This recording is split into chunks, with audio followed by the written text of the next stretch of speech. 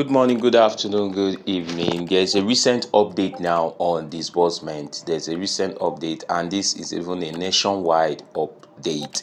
So just listen to this. We'll meet at the end to to analyze. It's just a short one.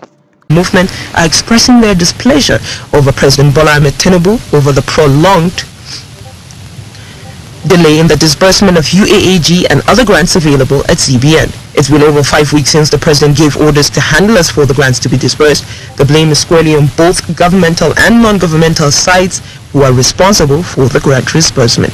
The group therefore pleads with the president to caution the government disbursement committee and the grant signatories and direct them to disburse forthwith as the delay is compounding the miseries of the members. So this is uh, to our own understanding, to my own personal understanding. This is not pay advert. This is like a news. So and the news is saying that uh, the delay is from Ken side and government side.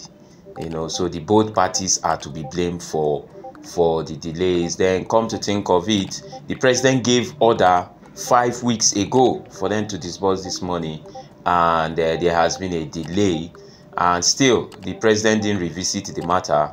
So it's, it's quite uh, it, it, the story doesn't even still add up. Yes the news made mention of that. The story doesn't still add up. It doesn't really stay add up. We don't really know what is uh, really going on because now the news mentioned that the delay is from the government and it's from the uag you know. So guys let's keep our fingers crossed we'll keep you updated on any recent or any outcome.